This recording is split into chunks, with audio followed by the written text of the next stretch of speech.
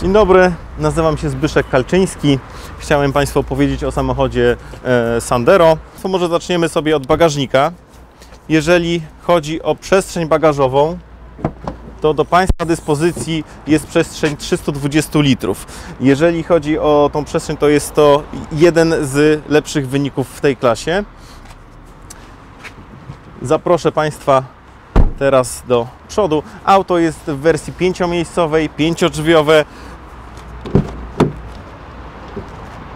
Ja zapraszam Państwa do przodu i zapraszam Państwa na krótką przejażdżkę.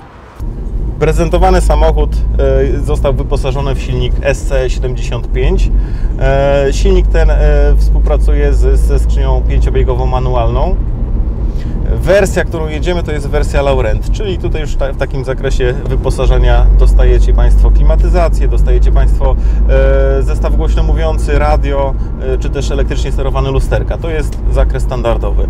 Ten konkretny egzemplarz jeszcze jest wyposażony w lakier metalizowany i cena tego egzemplarza to jest 41 400 zł, ale taki samochód możemy sobie nabyć od kwoty 32 900 zł, przepraszam. Tak, halo? Cześć Zbyszek.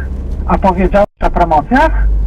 O promocjach? E, tak, za chwilę, za chwilę to powiemy. Właśnie mieliśmy to kręcić.